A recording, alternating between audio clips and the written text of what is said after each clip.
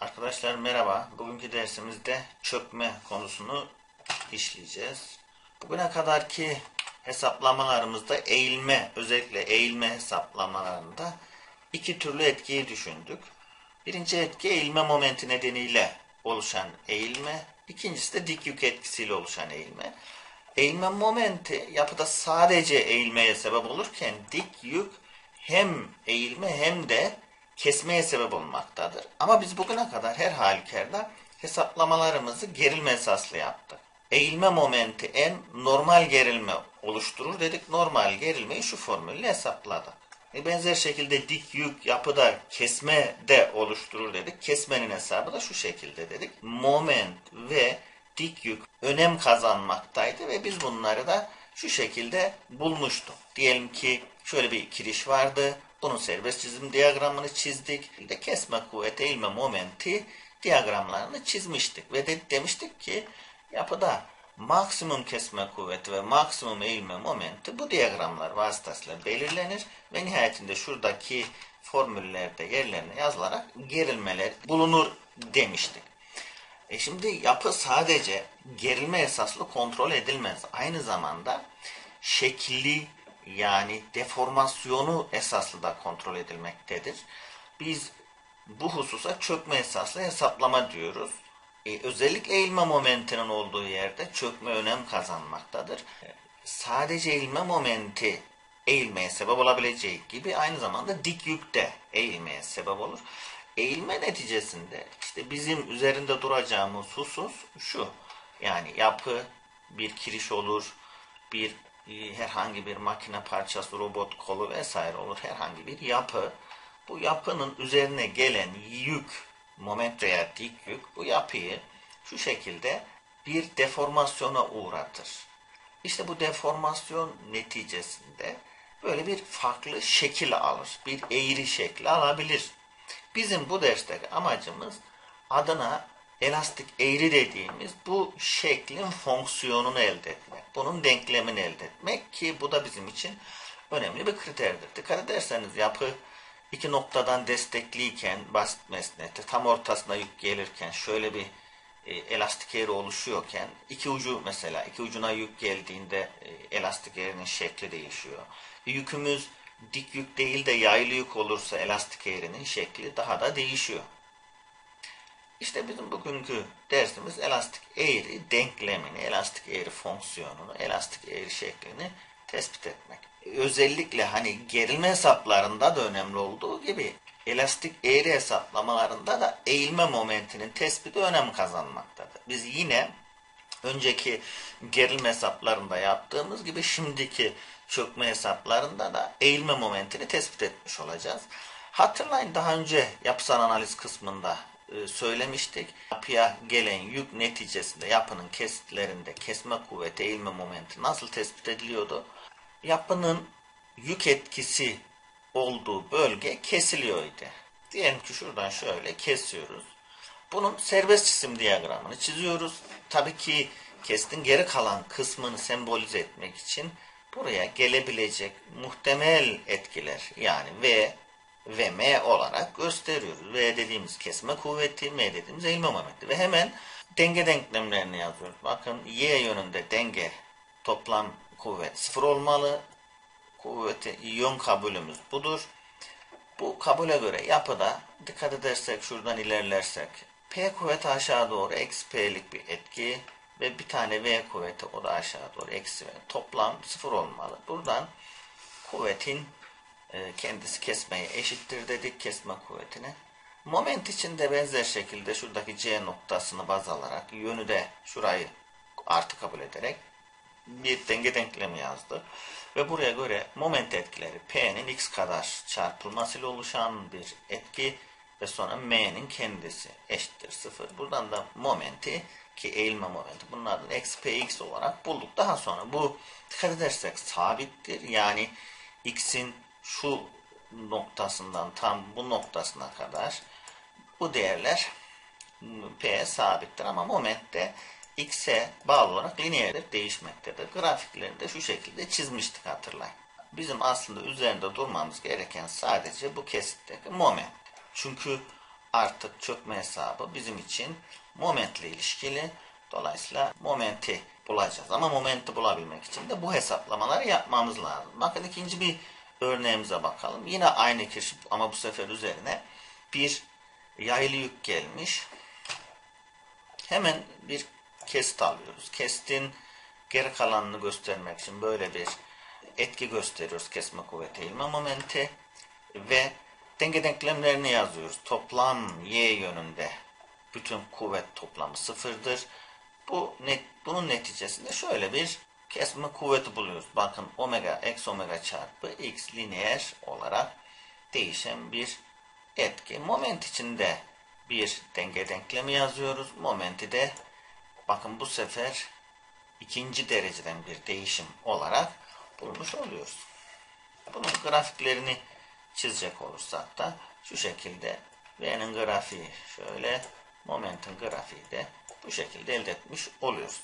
Ha, bu x'e bağlı olduğu için A noktasında her şey fazla gibi görünüyor ama dikkat edersek B noktasında kesme kuvveti en fazla, B noktasında moment en fazla.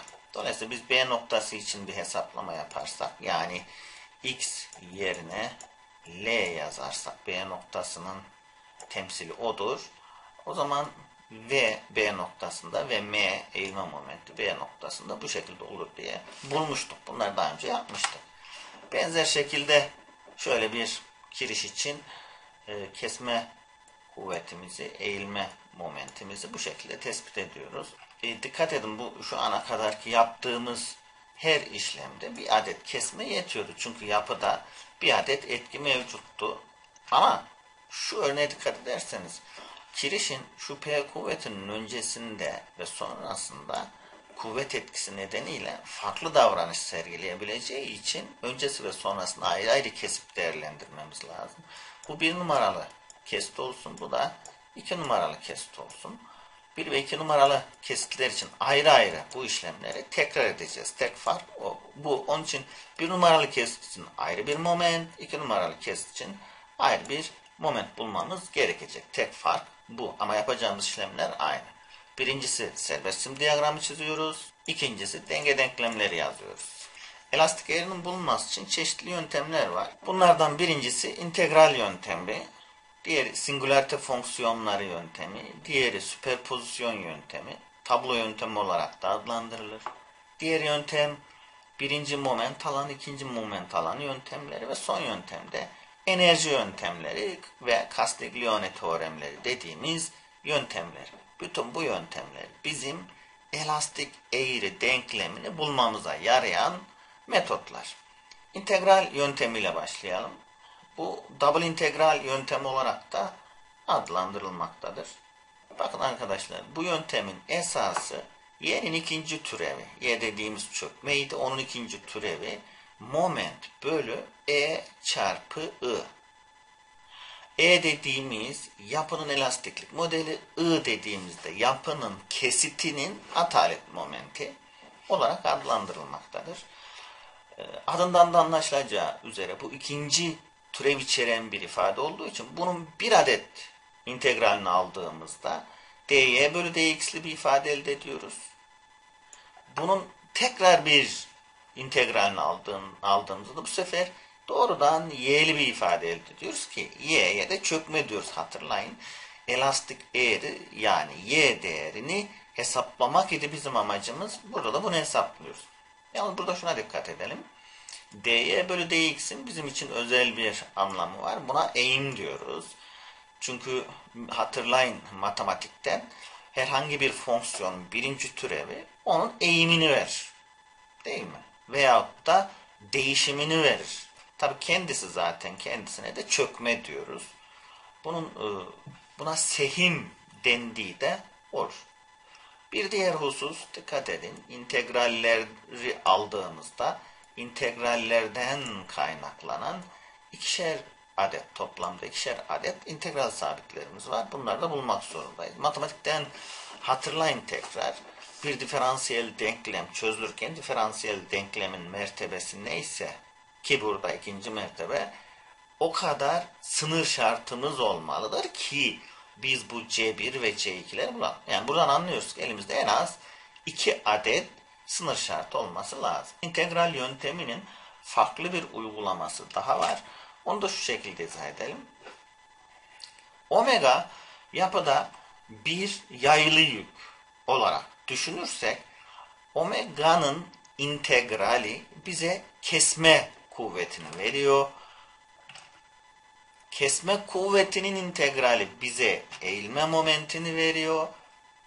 Bir önceki slayttan hatırlayın. Eğilme momentinin integrali eğimi veriyor. Slope da deniyor. dy bölü dx. Ve en nihayetinde bu eğimin de integrali bize elastik eğrinin kendisini veriyor. Yani çökmenin kendisini vermiş oluyor. Şurada olduğu gibi. Ha, bizim maksadımız şöyle bir kirişten şu yapıyı elde edebilmek. Bu dersteki amacımız bu. Ha, bu slayta çok dikkat edin. Bu slide bize yaylı yükten, kesme kuvvetinden, eğilme momentinden, eğimden ve çökmeden, çökmenin birbirleriyle olan ilişkisini tepeden gösterir. Burada dikkat edin 5 tane formülümüz var sırayla. Hepsi de integral içeren formüller. İntegral yöntemin öz esası budur. Şimdi bu yöntemde sınır şartları neler? Hani yapıda bu sınır şartlar neye göre değişir? Ona bir bakalım.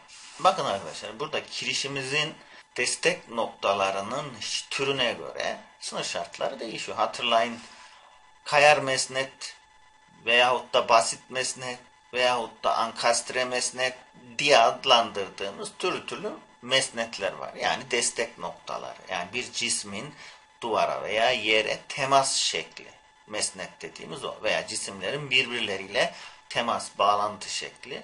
Buna mesnet veya destek diyoruz. Yani en basit olsun diye her zaman kirişle gösteriyoruz. Bunu unutmayın.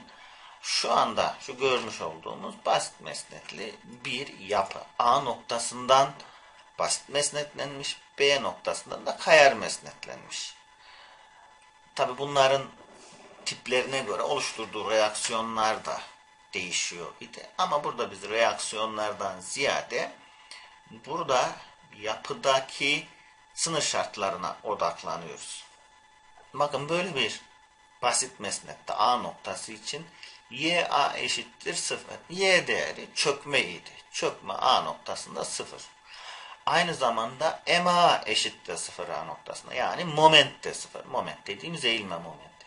Ha, böyle bir destek noktasına sahip bir problemle, bir cisimle karşılaşırsak hemen diyeceğiz ki bu cismin bu noktasında çökme olmaz, sıfırdır. Burada moment de olmaz, o da sıfırdır diyeceğiz. Burayı biliyoruz. Benzer bir ilişkiyi B noktası içinde kurabiliriz. Kayar mesnetlerde de aynı durum geçerlidir. Mesnetin olduğu yerde çökme olmaz. Hatırlayın bura mesnetli zaten. Dikey yönde hiç hareket etmez. Dolayısıyla çökme olmaz. Ve burası dönmeye karşı da serbest olduğu için burada moment de oluşmaz. Yani A ve B noktaları dönmeye karşı serbest olduğu için eğilme momenti de oluşmaz. Bir diğer sık karşılaşabileceğimiz bağlantı türü ankastre mesnet. Ankastre mesneti biliyorsunuz bir ucundan duvara sabitlenmiş. Hiçbir dönmesi mümkün değil çünkü sabitlenmiş. Diğer ucu ise serbest. Ha, üzerine istediğimiz yükü uygulayabiliyoruz. Dik yük olur, eksenel yük olur, moment olur, tork olur. Her şey uygulanabiliyor. Bu hal, halde A noktası için şunu yazabiliriz. A noktasında kesinlikle çökme olmaz, sıfırdır. A noktasının eğimi de sıfırdır. Bakın moment sıfırdır diyemeyiz. Çünkü A noktası sabit bir nokta. Bu noktaya istediğiniz kuvveti uygulayın. Uyguladığınız kuvvetin karşılığını bulursunuz. Serbestçe dönmez. Ve ortamda o bir moment, eğilme momenti oluşur. Onun için burada momentle ilgili kesinlikle bir şey söyleyemiyoruz. B noktasına gelelim. B noktasında çökme olur. Bakın görüyoruz. Onun için çökmeyle ilgili diyemeyiz. Ama kesme kuvveti olmaz. B noktasında. Moment de olmuyor serbest tuşta. O da sıfır. Bakın hatırlayalım. Bakın eğilme momentini tespit ederken uç serbest uç ki bu problemde A denmiş ama siz serbest uç olarak bakın. Serbest uçta kesme kuvveti yok arkadaşlar sıfır ve serbest uçta moment de yok. O da sıfır. Ankastre bir bağlantının serbest ucunda kesme de moment sıfırdır. Sonucunu çıkartıyoruz buradan. Bakın şu şekilde bir bağlantı olabilir. Yani hem ankastre hem de diğer ucu kayar mesnetle bağlanmış. Esasında bu hiperstatik bir problem. Yani statikçe belirsiz bir problem. Ama A noktasında hala e, x eşittir 0 noktasında çökme sıfırdır, y sıfırdır ve eğim sıfırdır, teta sıfırdır A noktası ama B noktasında sadece çökme sıfırdır diyebiliriz. Kirişimizin bir noktası ile diğer noktası arasında nasıl bir bağlantı olursa olsun o bağlantının olduğu yerde birinci bölgedeki moment ile ikinci bölgedeki moment birbirine eşit olmalı. Birinci bölgedeki çökme ile ikinci bölgedeki çökme birbirine eşit olmalı. Moment ile çökme süreklidir. Moment yerine eğimi de düşünebiliriz. Bu gibi aramarsal, ara bağlantı noktalarında bu da bizim için ilave iki sınır şartı oluşturacak. Bir örnekle devam edelim. Örneğimizde basit mesnetli bir kiriş var. Bu kirişin ortasına dikey bir yük uygulanmış. Kirişin boyu e, L boyunda. Bir serbest çizim diyagramı çizelim ve bir kesit alalım. P yükünün öncesinde ve sonrasında birer kesit alıyoruz. Bir bir kesti ve iki iki kesit olmak üzere. Öncelikle tüm sistemin serbest cisim diyagramını çizip denge denklemlerini yazarak reaksiyon kuvvetlerini buluyoruz A ve B noktalarındaki. Bir bir kesitine geliyoruz ve bir bir kesiti için de biraz önce yaptıklarımızın aynısını tekrar edeceğiz. Serbest cisim diyagramı çizeceğiz. Bir bir kesitine özel ve o kesit için denge denklemlerini yazacağız. Bu durumda bir bir kesit için momentin P, PB çarpı L bölü X olduğunu buluyoruz. 2 2 kesitin de aynı şekilde serbest cisim diyagramını çiziyoruz ve denge denklemlerini yazıyoruz. Bu durumda 2 2 kesitindeki kesme kuvveti ve eğilme momentini buluyoruz. Eğilme momenti P çarpı X eksi A eksi PB bölü L. Eğilme momentlerine odaklanıyoruz. Çünkü eğilme momentlerini kullanacağız. Çökme hesabı için, eğim hesabı için. Dikkat edersek iki tane kesit var. Her iki kesit için de E çarpı I çarpı Y'nin ikinci türevi eşittir moment ifadesini kullanıyoruz. Bu Buna şaşırmayalım. E, slide'da gösterdiğimizle aynısı. Aslında şurada göstermiş olduğumuz denklemin aynısı. Sadece EI değerini eşitliğin sol tarafına çekmiş olduk. Burada moment yerine bir bir kestiği için eşdeğer olan P çarpı B bölü L çarpı X ve 2 2 için eşdeğeri olan eksi P çarpı X eksi A artı PB bölü L çarpı X yazıp bunların birer integralini aldığımızda eğimi buluyoruz yani y'nin türevi. Bunun bir kez daha integralini aldığımızda y'lerin kendisini buluyoruz. Birinci ve ikinci kesitler için ayrı ayrı olarak. Tabi her bir integralde birer integral katsayısı geliyor. Toplamda her bir denklemde ikişer tane olmak üzere toplamda dört tane denk katsayımız mevcut. Bu katsayıları da sınır şartlarından bulacağız. Birinci sınır şartlarımız A noktasında yani x'in sıfır olduğu yerde çökme sıfırdır ifadesini kullanacağız. Birinci kestiğimiz, kestiğimiz için çökme ifademiz bu. Burada x yerine sıfır yazıp y yerine de sıfır yazacağız. Dolayısıyla geriye ne kalıyor? C2'nin sıfır olduğunu buluyoruz. İkinci sınır şartımız B noktasında çökme sıfır. B noktasında x değeri L yalnız buna dikkat edelim. Denk ikinci kesitteki denklemi alacağız ve burada x yerine L yazacağız. Y yerine de 0 yazacağız. Bu durumda şu şekilde C4'ün C3'e bağlı bir ifadesini buluyoruz. Direkt C3, C4'lü bulamıyoruz. Bakın iki tane daha sınır şartına ihtiyacımız var. O da tam D noktası için yazacağız. D noktası ki x'in A olduğu yer orada eğimler yani sağdaki ve soldaki kesitlerin eğimi birbirine eşit olmalıdır ki bu süreklilik şartından kaynaklanıyor. Benzer şekilde A mesafesinde yani D noktasında noktanın sağındaki ve solundaki çökmeler birbirine eşit olmalı. Çünkü kiriş sürekli sağ ile sol tarafı noktanın aynı miktarda çökmeye sahip olmalıdır. Ayrı ayrı yazıp x yerine a yazıp tetaları eşitleyerek ve y'leri eşitleyerek bakın burada olduğu gibi iki denklem tahlil ediyoruz. Bu dört denklemi lineer denklem takımı metodu kullanarak çözdüğümüzde yani yok etme metodu, Gauss metodu, yerine yazma metodu vesaire kullandığımızda C1, C2, C3, C4'leri bu şekilde elde ediyoruz. Bunları da getirip birinci ve ikinci bölgede ayrı ayrı elde ettiğimiz şu denklemleri de yerine yazdığımızda elastik eğri denklemi elde ediyoruz. Bunların, bu denklemlerin birer türevini aldığımızda da zaten eğimler elde ediyoruz. Dikkat edin eğimlerin birimi radyan, y'lerin birimi de uzunluk biriminde yani milimetre olarak düşünülebilir. Diğer bir örnek. Basit mesnetle mesnetlenmiş ama bu sefer üzerine bir yaylı yük gelmiş. Q sabit bir yaylı yük. Önce sistemin reaksiyonlarını buluyoruz. RA, RB. Daha sonra da bir bir kestimi alıyoruz ve keste gelen momenti tespit ediyoruz. Momentimiz QL bölü 2 çarpı x eksi Q x kare bölü 2. Dikkat edin kesme kuvvetini falan hesaplıyoruz. Ama biz momentle ilgileniyoruz. Çünkü eğim ve sehim yani çökme hesaplamalarında momentin integrallerini alacağımız için hep momente kullanıyoruz. Geldik E, I, Y'nin ikinci türevi eşittir. M. M yerine biraz önce bulduğumuz moment karşılığını yazıp integralini alıyoruz. Birinci integralle eğim denklemine ulaşmış olduk. Eğim denkleminin tekrar bir integraliyle de sehim denklemine ulaşmış olduk. İki tane katsayımız var. C1, C2.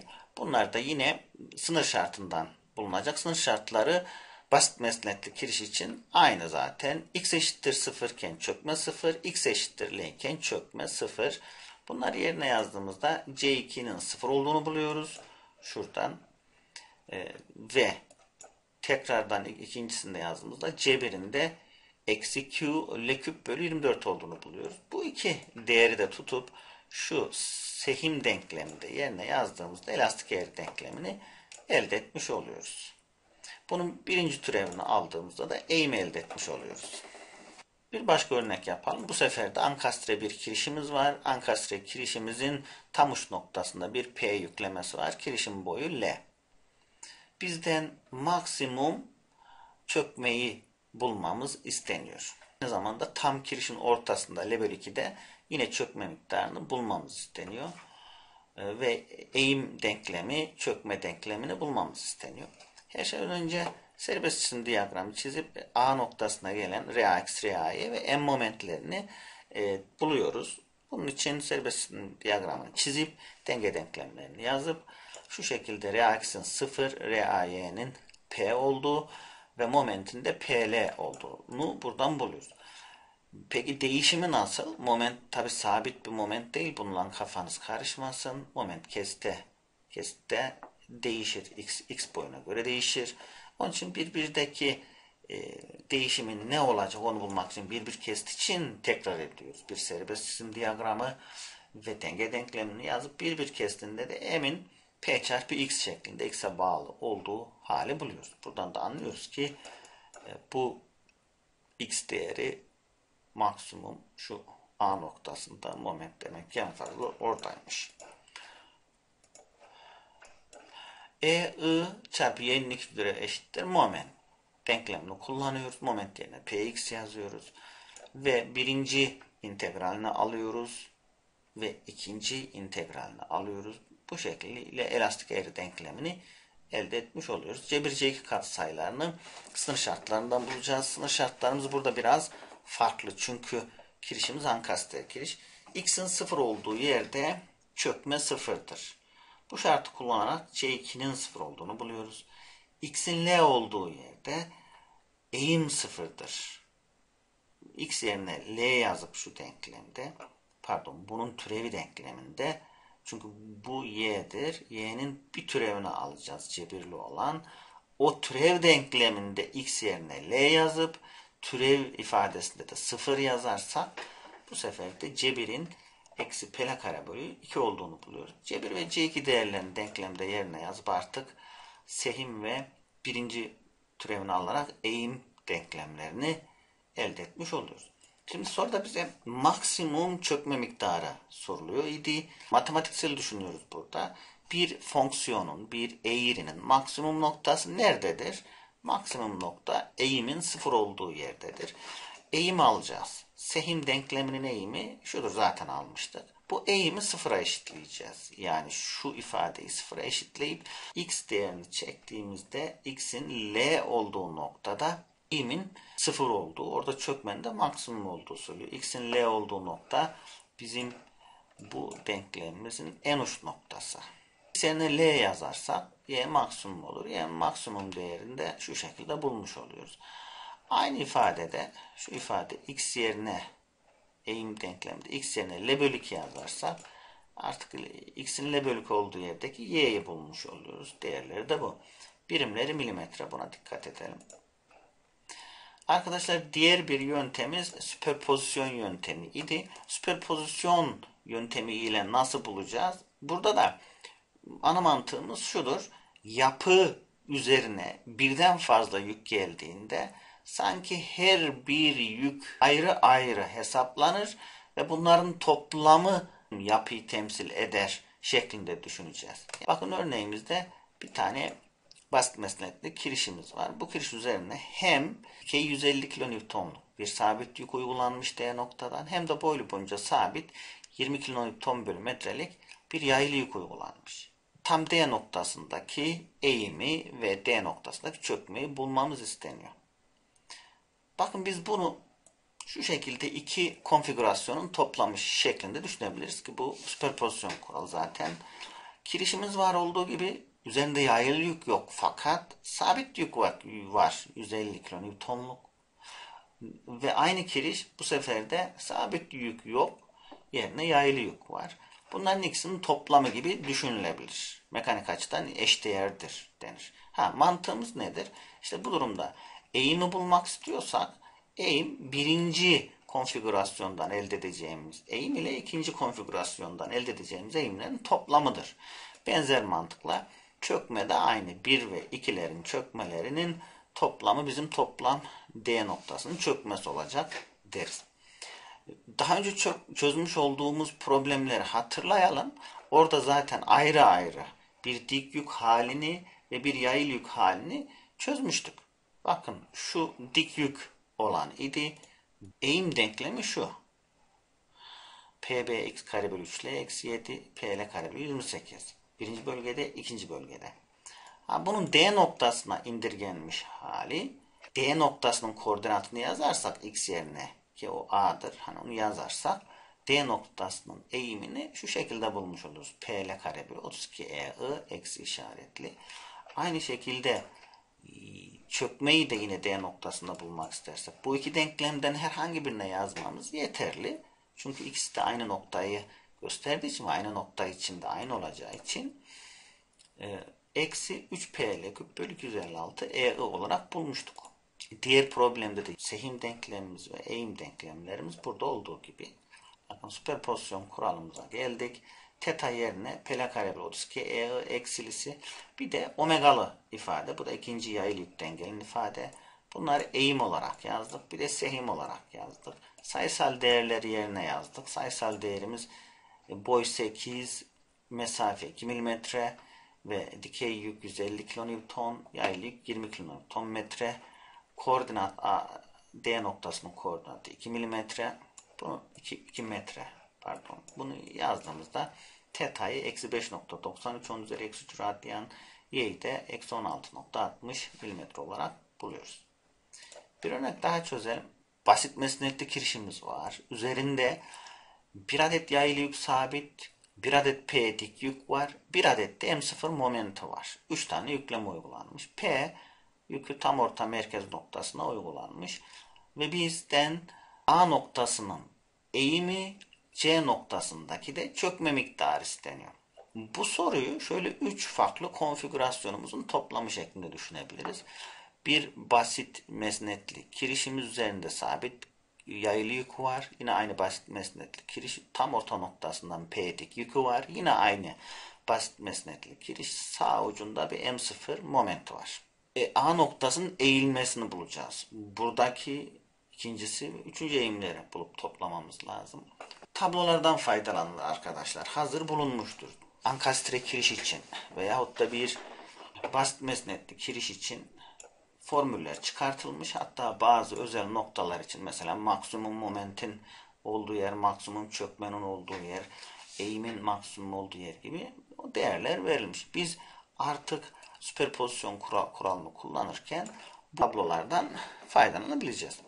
Problemimize geri dönecek olursak bakın iyi dikkat edelim burada.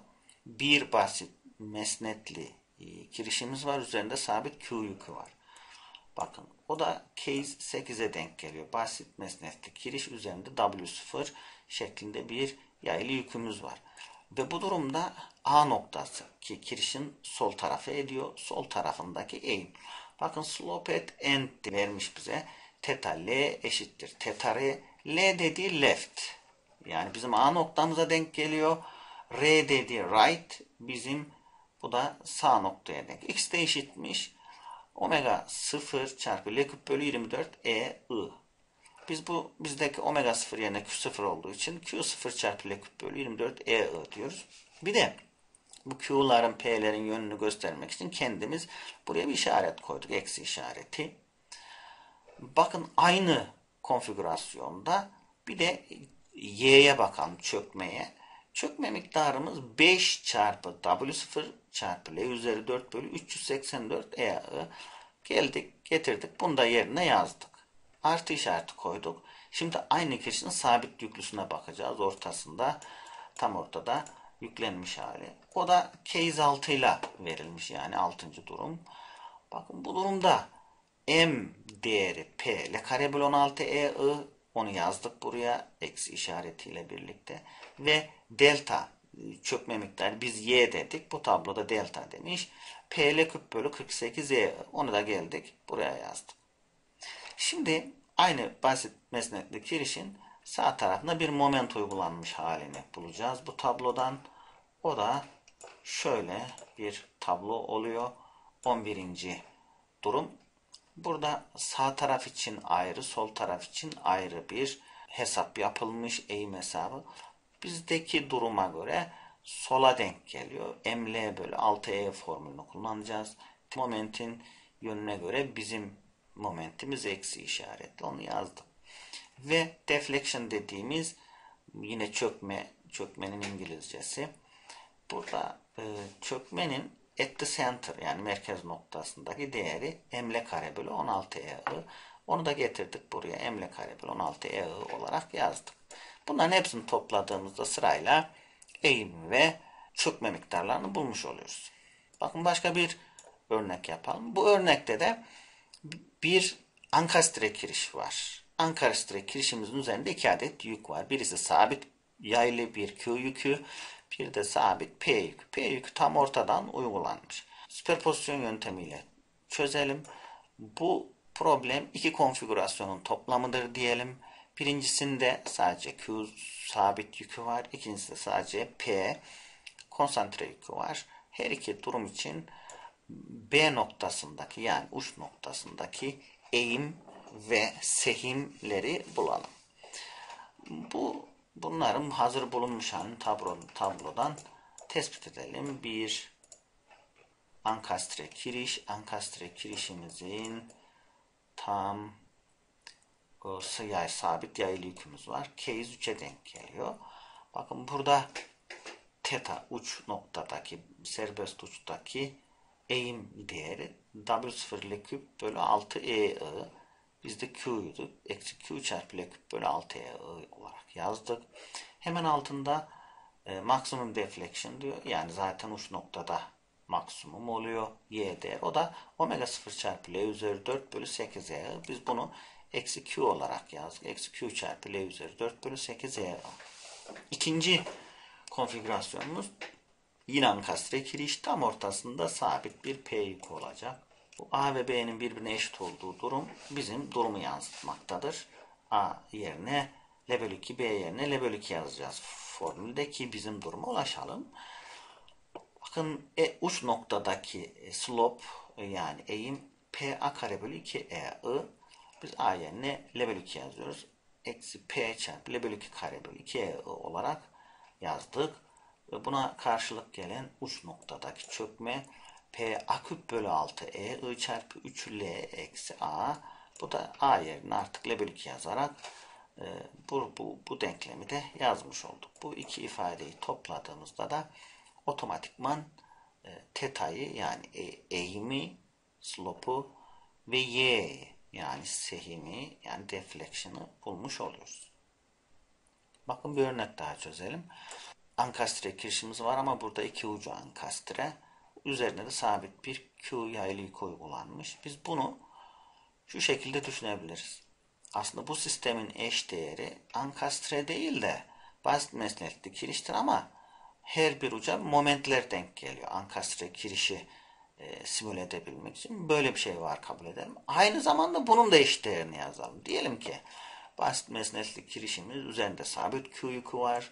Basit mesnetli kirişimiz sağ tarafında bir M momenti var ve basit mesnetli kirişimiz sol tarafında bir M momenti var. Basit mesnetli kiriş tablolarını açalım. Üzerinde sabit yük varken bu durumda A noktasının eğimine bakalım. W0 L küp bölü 24 E I yerine yazdık. Ve B noktasının eğimi o da eşitmiş. O da aynı şekilde Q L küp bölü 24 E I olarak yazdık. Dikkat edersek tetalar bir A ve B noktasında birbirlerinin işaretleri farklı olarak buraya yansıdı.